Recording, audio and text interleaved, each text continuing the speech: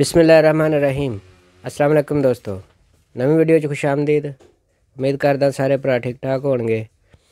ਦੋਸਤੋ, ਅੱਜ ਦਾ ਜਿਹੜਾ ਵੀਡੀਓ ਦਾ ਮੌਜੂ ਆ, ਉਹ ਤਲਾਬਾਤ ਦਾ ਇੱਕ ਦੋਸਤ ਮਿਲਿਆ, ਉਹਦਾ ਇੰਟਰਵਿਊ ਬਹੁਤ ਦੋਸਤਾਂ ਨੇ ਫਰਮਾਇਸ਼ ਕੀਤੀ ਸੀ ਕਿ ਤਲਾਬਾਤ ਦਾ ਜਿਹੜਾ ਰਾਈਡਰ ਆ, ਉਹਦਾ ਇੰਟਰਵਿਊ ਕਰੋ। ਹੁਣ ਉਹ ਭਾਈ ਹੁਣੀ ਆਏ ਆ, ਉਹਨਾਂ ਦਾ ਇੰਟਰਵਿਊ ਕਰਦੇ ਆ। ਤੁਹਾਨੂੰ ਪੂਰੀ ਤਫਸੀਲ ਜਿਹੜੀ ਆ, ਉਹ ਮਤਲਬ ਕਿ ਪੁੱਛ ਕੇ ਦੱਸਦੇ ਆ, ਕੀ ਹਿਸਾਬ ਕਿਤਾਬ ਆ। ਤੇ ਇਨਸ਼ਾਅੱਲਾ ਮੈਨੂੰ ਉਮੀਦ ਕਰਦਾ ਕਿ ਵੀਡੀਓ ਤੁਹਾਨੂੰ ਬਹੁਤ ਅੱਛੀ ਲੱਗੇਗੀ। ਤੇ ਦੋਸਤੋ ਵੀਡੀਓ ਨੂੰ ਸ਼ੇਅਰ ਵੀ ਕਰਿਆ ਕਰੋ ਤਾਂ ਕਿ ਕਿਸੇ ਨੂੰ ਗਾਂ ਦੋਸਤਾਂ ਨੂੰ ਸ਼ੇਅਰ ਕਰੋ ਤਾਂ ਕਿ ਕਿਸੇ ਦੋਸਤ ਨੂੰ ਪਤਾ ਲੱਗੇ। ਠੀਕ ਆ? ਕੋਈ ਕਿਸੇ ਦਾ ਫਾਇਦਾ ਹੋਵੇ। ਤੇ ਹੁਣ ਗੱਲ ਕਰਦੇ ਅੱਗੇ। ਇਨਸ਼ਾਅੱਲਾ ਤਾਲਾ ਤੁਹਾਨੂੰ ਵੀਡੀਓ ਪਸੰਦ ਆਏਗੀ। ਅਸਲਾਮ ਅਲੈਕੁਮ ਜੀ। ਜੀ ਵਾਲੇਕੁਮ ਅਸਲਾਮ। ਭਾਈ ਕੀ ਨਾਮ ਤੁਹਾਡਾ? ਮੇਰਾ ਨਾਮ ਮੁਹੰਮਦ ਉਸਮਾਨ। ਸਹੀ। ਪਾਕਿਸਤਾਨ ਕਿਹੜੀ ਜਗ੍ਹਾ ਤੇ ਪਾਕਿਸਤਾਨ ਲਾਹੌਰ।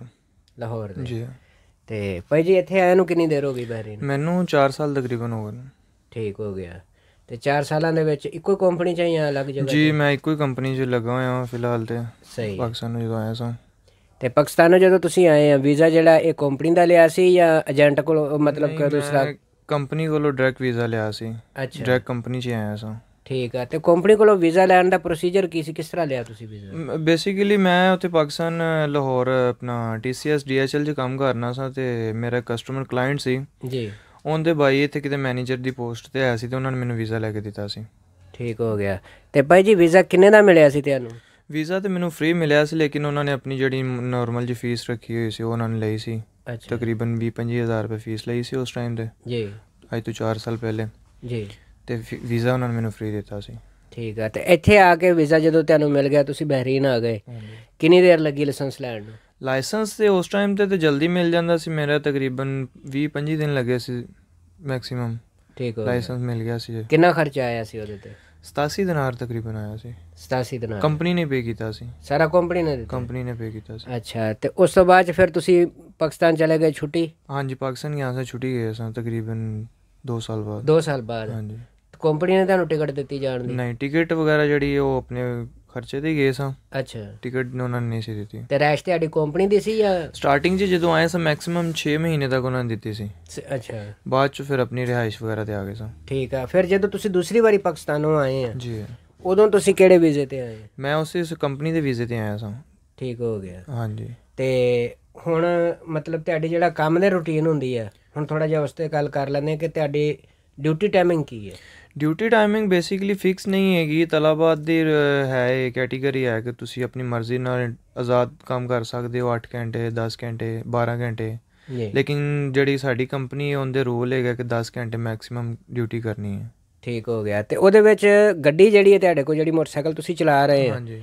ਉਹ ਤੁਹਾਡੀ ਆਪਣੀ ਹੈ ਜਾਂ ਕੰਪਨੀ ਦੀ ਹੈ? ਨਹੀਂ ਪੁਰਾਣੇ ਰਾਈਡਰ ਜਿਹੜੇ ਨੇ ਉਹਨਾਂ ਕੋਲ ਕੰਪਨੀ ਦੀਆਂ ਬਾਈਕਾਂ ਨੇ। ਜੀ। ਬਾਜ਼ ਹੁਣ ਜਿਹੜਾ ਇਹ ਬਾਈਕ ਆਪਣੀ ਚੇਂਜ ਕਰਦੇ ਪਏ ਨੇ ਯਾਨੀ ਕਿ ਆਪਣੀ ਪਰਚੇਸ ਕਰਦੇ ਪਏ ਨੇ ਕੰਪਨੀ ਕੋਲੋਂ। ਜੀ। ਤੇ ਕਿਉਂਕਿ ਬਾਈਕ ਪੁਰਾਣੀ ਜਿਹੜੀ ਹੋਏਗੀ ਜਿੰਨੀ ਪੁਰਾਣੀ ਹੋਏਗੀ ਉਹਨਾਂ ਕੰਮ ਨਹੀਂ ਬਿਹਤਰ ਤਰੀਕੇ ਨਾਲ ਬੰਦਾ ਕਰ ਸਕਦਾ। ਨਵੀਂ ਚੀਜ਼ ਨਵੀਂ ਹੁੰਦੀ ਹੈ ਉਹਦੇ ਕੰਮ ਕੰਮ ਜਿਹੜਾ ਹੈ ਘੱਟ ਨਿਕਲਦਾ ਖਰਾਬੀ ਵਗੈਰਾ ਮੇਨਟੇਨੈਂਸ ਜਿਸ ਦੀ ਵਜ੍ਹਾ ਤੋਂ ਬੰਦਾ ਮੁਸਲਸਲ ਕੰਮ ਕਰਦਾ ਰਹਿੰਦਾ ਕੋਈ ਪਰੇਸ਼ਾਨੀ ਨਹੀਂ ਆਉਂਦੀ।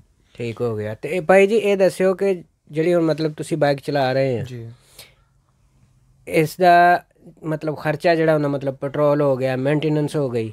ਇਹ ਕੰਪਨੀ ਦੇ ਰਹੀ ਹੈ ਤੁਹਾਡੀ ਦੀ ਜਾਂ ਕਿ ਤੁਸੀਂ ਆਪਣੀ ਆਪ ਨਹੀਂ ਪੈਟਰੋਲ ਕੰਪਨੀ ਦੇ ਰਹੀ ਹੈ ਬਾਕੀ ਮੇਨਟੇਨੈਂਸ ਜਿਹੜੀ ਉਹ ਆਪਣੀ ਹੈ ਮੇਨਟੇਨੈਂਸ ਆਪਣੀ ਹਾਂਜੀ।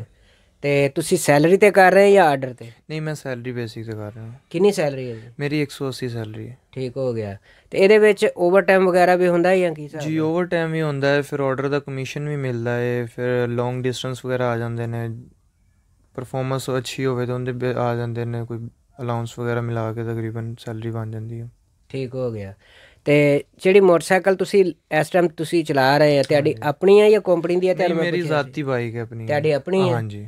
ਤੇ ਇਹ ਆਪਣੀ ਬਾਈਕ ਜਿਹੜੀ ਹੈ ਕਿੰਨੇ ਦੀ ਕੰਪਨੀ ਕੋਲੋਂ ਤੁਸੀਂ ਲਈ? ਮੈਨੂੰ ਇਹ 900 ਚ ਤਕਰੀਬਨ 900 ਦਿਨਾਰ ਦੀ ਪਈ ਹੈ। ਠੀਕ ਹੋ ਗਿਆ। 900 ਦਿਨਾਰ ਚ ਤੁਹਾਡੀ ਬਾਈਕ ਜਿਹੜੀ ਤੁਸੀਂ ਖਰੀਦੀ ਹੈ ਉਹਨਾਂ ਕੋਲੋਂ। ਸਹੀ ਹੈ। ਕਿਸ਼ਤਾਂ ਤੇ ਲਈ ਹੈ? ਹਾਂਜੀ ਕਿਸ਼ਤਾਂ ਤੇ ਲਈ। ਸਹੀ। ਕਿੰਨੀ ਕਿਸ਼ਤ ਦਿੰਦੇ ਕਿਸ਼ਤ ਮੇਰੀ ਇਹਦੀ ਹੈਗੀ ਹੈ 68 ਦਿਨਾਰ। 68 ਦਿਨਾਰ ਮਹੀਨਾ ਤੁਸੀਂ ਦੇਣੇ ਆ। ਮੰਥਲੀ ਦੇਣੀ ਹੈ। ਤੇ ਜਿਹੜਾ ਤੁਸੀਂ ਓਵਰ ਟਾਈਮ ਵਗੈਰਾ ਲਾਉਂਦੇ ਆ ਜਦੋਂ? ਹਾਂਜੀ। ਤੇ ਮਹੀਨੇ ਬਾਅਦ ਜਿਹੜਾ ਤੁਹਾਡਾ ਸਬ ਮੈਕਸਿਮਮ ਐਵਰੇਜ ਇੱਕ ਯਾਨੀ ਕਦੀ ਜ਼ਿਆਦਾ ਹੁੰਦਾ ਕਦੀ ਘੱਟ ਹੁੰਦਾ ਐਵਰੇਜ ਇੱਕ ਕੀ ਕੱਢ ਲੈਂਦੇ ਐਵਰੇਜ ਸੈਲਰੀ ਜਿਹੜੀ ਹੈ 300 ਵੀ ਨਿਕਲ ਆਂਦੀ ਹੈ ਜੇ ਕੰਮ ਹੋਰ ਮਿਹਨਤ ਥੋੜੀ ਕਰੋ ਤਾਂ 350 ਤੱਕ ਵੀ ਚਲੀ ਜਾਂਦੀ ਹੈ ਜੀ। ਉਹਦੇ ਵਿੱਚੋਂ ਫਿਰ ਬਾਈਕ ਦੇ ਖਰਚੇ ਕਿਸ਼ਤ ਵਗੈਰਾ ਕੱਢ ਕੇ ਮੇਨਟੇਨੈਂਸ ਆਇਲ ਵਗੈਰਾ ਹਰ ਚੀਜ਼ ਕੱਢ ਕੇ ਮੈਕਸਿਮਮ 200 180 220 ਇੰਨੀ ਬਚਤ ਆ ਜਾਂਦੀ ਹੈ ਇੰਨੀ ਮਤਲਬ ਬਚਤ ਹੈ ਹਾਂਜੀ। ਤੇ ਉਹ ਚੋਂ ਕਿਸ ਵੀ ਨਿਕਲ ਗਈ? ਹਾਂਜੀ ਸਾਰਾ ਕੁਝ ਕੱਢ ਕੇ ਤਕਰੀਬਨ ਇੰਨੀ ਬਚਤ ਆ ਜਾਂਦੀ ਸਹੀ। ਤੇ ਇੱਕ ਹੋਰ ਚੀਜ਼ ਕਿ ਜਦੋਂ ਤਲਬਾਤ ਰਾਈਡਰ ਜਾਂਦੇ ਆ ਕੰਮ ਤੇ ਇਹਨਾਂ ਦੀਆਂ ਕੋਈ ਸ਼ਿਫਟਾਂ ਹੁੰਦੀਆਂ?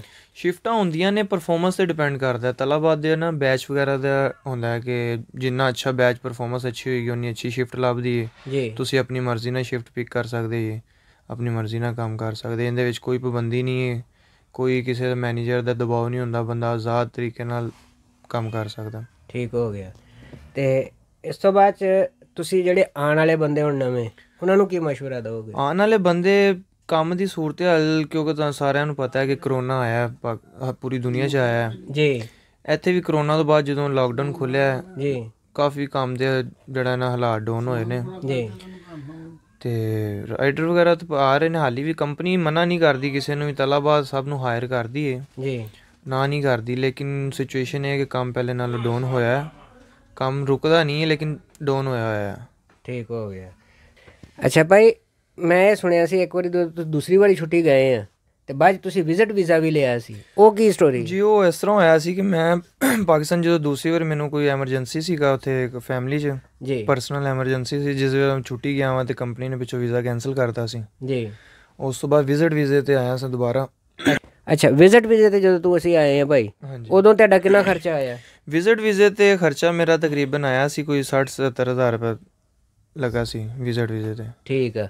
ਤੇ ਉਸ ਤੋਂ ਬਾਅਦ ਜਦੋਂ ਤੁਸੀਂ ਇੱਥੇ ਆਏ ਫਿਰ ਤੁਹਾਨੂੰ ਦੁਬਾਰਾ ਉਸੇ ਕੰਪਨੀ 'ਚ ਹੀ- ਉਸੇ ਕੰਪਨੀ ਨੇ ਹਾਇਰ ਕੀਤਾ ਸੀ ਦੁਬਾਰਾ। ਉਹਨਾਂ ਨੂੰ ਕਿਹਾ ਸੀ ਕਿ ਤੁਹਾਨੂੰ ਰੱਖ ਲਾਂਗੇ ਵੈਕੈਂਸੀ ਉਹਨਾਂ ਨੇ ਦਿੱਤੀ। ਹੈ। ਹਾਂ ਤੇ ਉੱਥੇ ਹੀ ਹੁਣ ਕੰਮ ਕਰ ਰਹੇ ਹਾਂ ਦੁਬਾਰਾ। ਅੱਜ ਕੱਲ ਜਿਹੜਾ ਵਾ ਇਹ ਆਸਾਨੀ ਨਾਲ ਇਸ ਤਰ੍ਹਾਂ ਕੰਮ ਅਗਰ ਕੋਈ ਬੰਦਾ ਭਰਾ ਕਈ ਬੰਦੇ ਹੈਗੇ ਆ ਉਹ ਪੁੱਛ ਰਹੇ ਆ ਕਿ ਮੇਰੇ ਕੋਲ ਮਤਲਬ ਦੁਬਈ ਦਾ ਲਾਇਸੈਂਸ ਆ।